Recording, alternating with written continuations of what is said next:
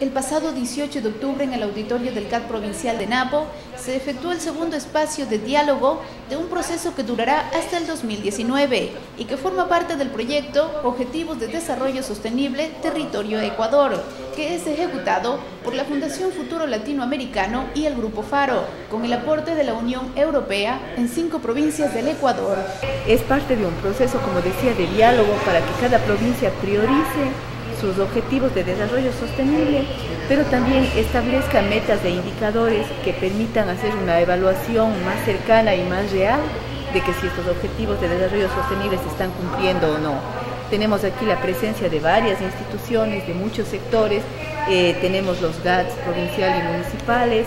este, tenemos también instituciones públicas y privadas de, de la provincia que están participando desde el primer taller. En este taller, los representantes de diversos sectores validaron las metas priorizadas sobre los objetivos de desarrollo sostenible más importantes para la provincia. Se está socializando con la sociedad de la provincia de Napo los objetivos de desarrollo de milenio establecidos por las Naciones Unidas, del cual eh, Ecuador es un país signatario, es decir, que firmó y se comprometió a volcar sus esfuerzos para el cumplimiento de los indicadores de estos 17 objetivos. Son 17 objetivos y cada objetivo tiene un indicador entonces el motivo de esta reunión es que en Napo exista un grupo de ciudadanos conscientes que existen estos objetivos para que de esa manera ayudemos a nuestras autoridades locales y a las instituciones que representan al Estado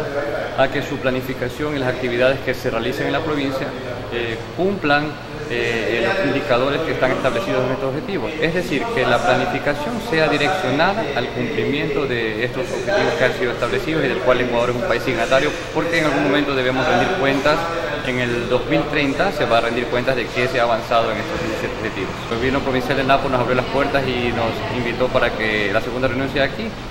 Y bueno, se, supone que cada dos meses nos vamos a reunir para ir dando, digamos, continuidad y seguimiento a los, a los objetivos trazados.